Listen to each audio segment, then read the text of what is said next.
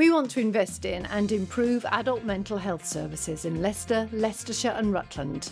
This is your chance to tell us what matters most to you and your family by participating in a consultation. The NHS should be accessible, connected, local, and tailored to each individual that needs support and care. Which is why we need to hear your views. Visit our website, complete a questionnaire, and together we can make the change.